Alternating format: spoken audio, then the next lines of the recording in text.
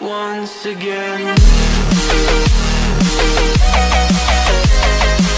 Hey guys, so it's been a long time and this video I wanted to do it for a very long time. Uh, pardon my English, it's not my first language so I'm doing my best here. So what I'm going to do is I'm going to show you guys how I'm building um, a dual axis solar tracking unit. Um, I've had this for a couple of nights lying awake and thinking about how I'm going to do it. So I'm going to show you guys the steps I'm doing and I'm just going to wing it. And um, yeah, so it's actually for one of my borehole pumps. So I've been waiting quite a long time to do it, so let's get to it. Alright, so what I've got here is um, uh, the linear actuator. It's a 24 volt unit. It's got a stroke of what? 900 millimeters. It's almost a meter. It's been lying in my garage for quite a long time. And then, then I've got this gear motor that I also bought with it a a couple of years back. So um, I know also it's a 24 volt unit and it's got a gear reduction ratio 1 to 575 so yeah it's quite a big unit or a geared unit I've got a normal Victron MPPT to charge the batteries so this will be completely off grid. And this is the rubbers to seal the unit. And then I've got the wind speed sensor. That's also been in my garage for quite a long time. I'm just to show this is basically I'm going to try to program it to um, when the wind is too high to actually let it do like a table and uh, so the wind won't blow it away this is the tracking unit this is a dual tracking unit. So it's got north, west, east, and south. It's got, let me just see here. It's also a 24 volt unit. I've got the green units on my single axis, axis units. So yeah, there's got two light sensors inside. So this is basically a dual axis tracking unit. I know from the other models, the single axis, there's uh, a place here where you can um, connect uh, what do you call it um, like a stop pardon my English if I don't know what it exactly is but um, uh, a limit switch basically yes so there's places inside where you can connect the limit switch so now what I'm gonna do is for the west and east axis I've got this unit here. Now I've sourced on Alibaba and a couple of other places the what do you call it um, uh, like um, yeah so I've sourced a couple of linear screw drive bearings for solar trackers but it's quite very expensive. So what I've got here is a, a pivots gearbox. So what it does actually. Is also it's kind of like the same. So when I turn this and I know this can take a lot of load because uh, the machine that uses this for irrigation has a lot of tons on it so and it's quite heavy duty. So but this is not a new one so it's a second hand one. I got it from a friend of mine. So basically what I do is if I turn it it turns very slowly to other directions basically the same thing. So what I'm gonna do is I'm gonna take this gear motor and somehow let it run from this side to turn this left and right. And this will be north and south uh, positioning. So now this is going to be my foot stand. And I've already drilled the holes at the back for this made a plate so I'm gonna weld this together and um, I'm gonna keep you guys posted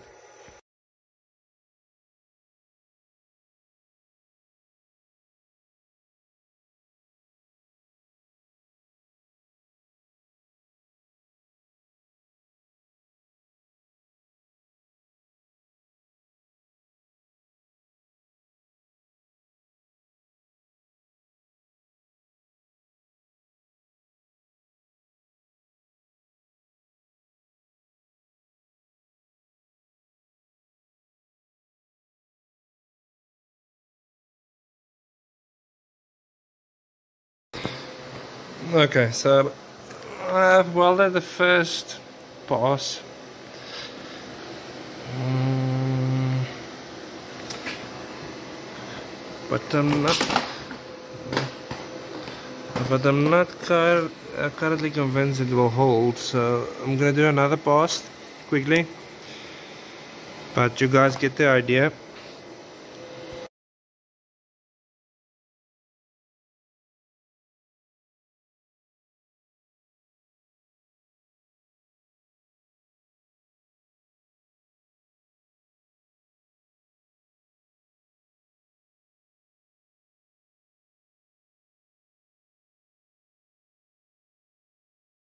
Okay.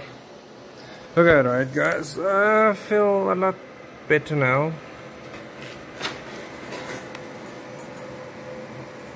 I think it will hold now.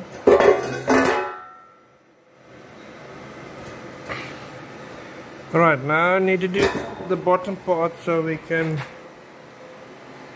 how should I say, bolt it in concrete, like a, like a foot piece. Okay. So I've managed to get out of this piece of steel. So I'm thinking of welding this together and maybe drill some holes. Uh, first I'm going to clean it up and square it a little bit and then um, I think let me see if it took half this piece we're not going to put a big load of solar panels on it about 10 100 watts solar panels, so it's about 1 kilowatt of solar panels. I don't think the load will be too much in wind and stuff like that, but if, if we weld it properly, uh, properly, I think it will hold. So let me get to, it's a little bit bent, but that won't uh, bother too much. So let me see what I can do here.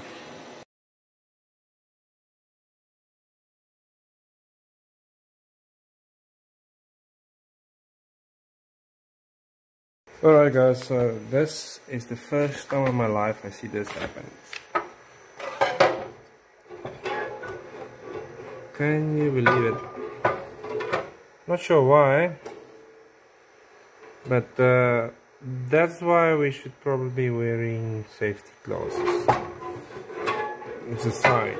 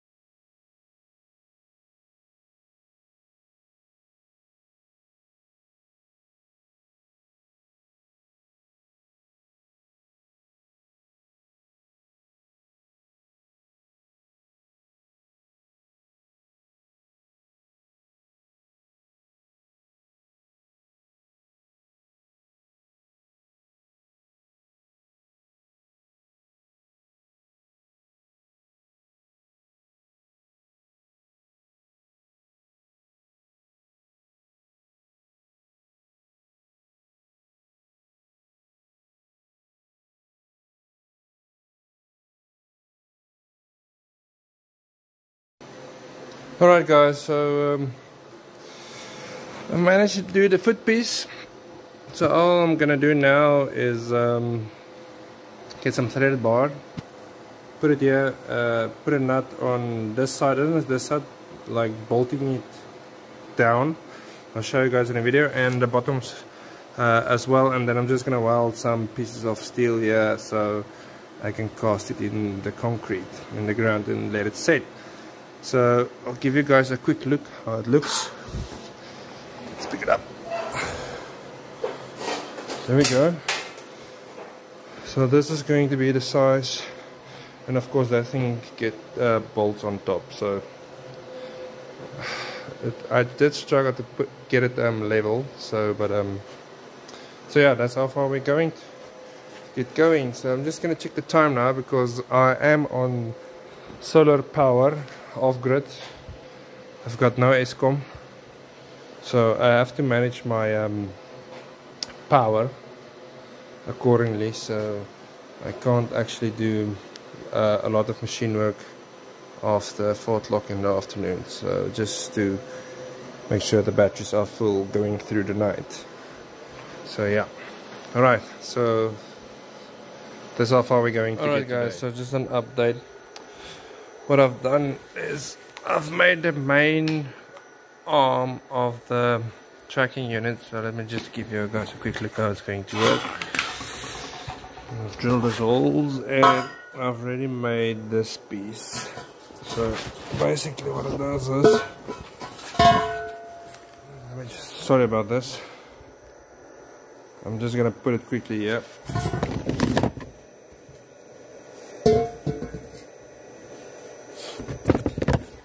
okay.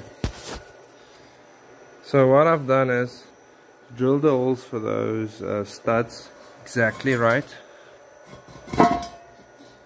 Fits in perfectly. So now I'm just gonna turn it over. So you can see why I did like I did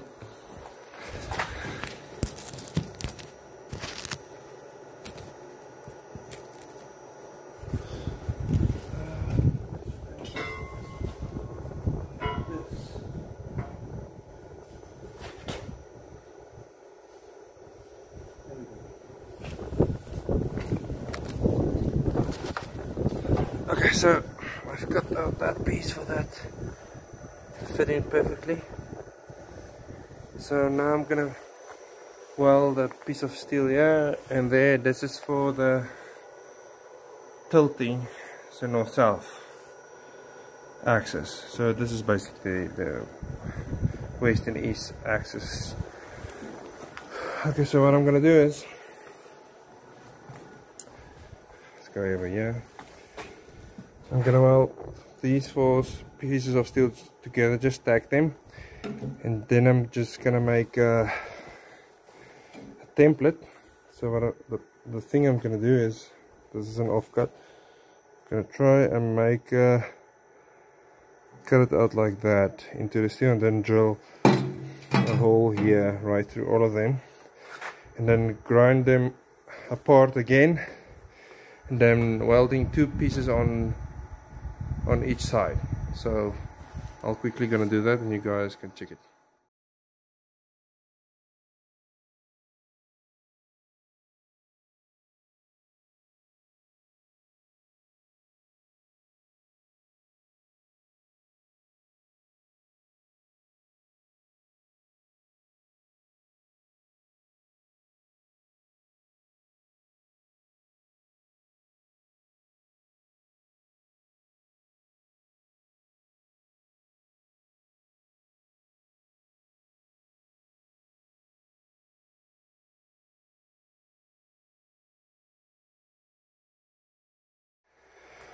all right so drill the hole right through.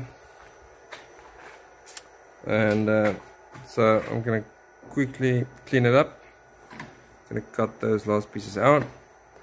And then just clean it up before cutting your fingers. And it's quite hot at the moment so let me do that and then I'll continue the video. Alright so the plan is two of these on each side like this. And then we're gonna put the, one of the arms through here so it can pivot like this. One that side and one on that side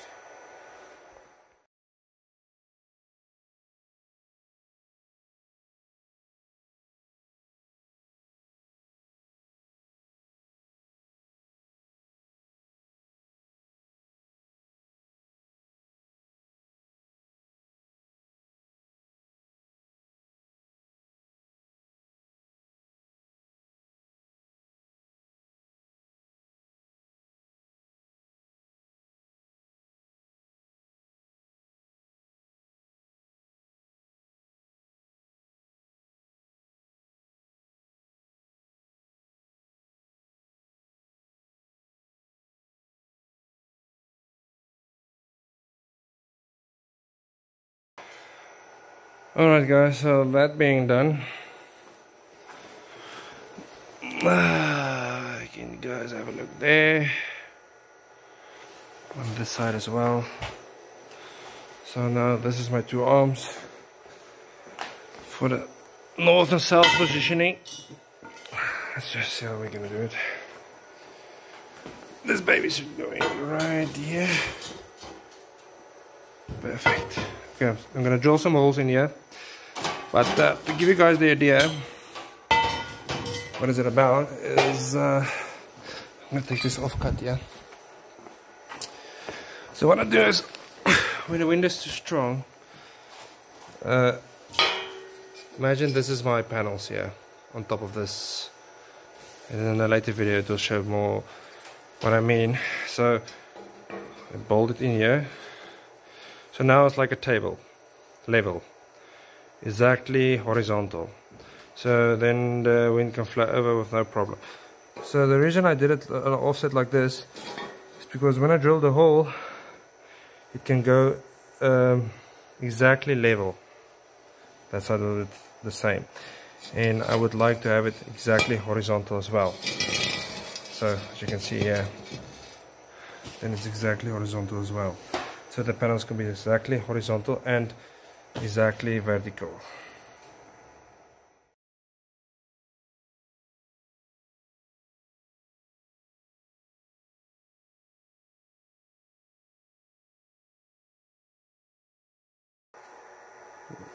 Okay, so I'm to quickly recap what I did. So I drilled these holes a little bit bigger here.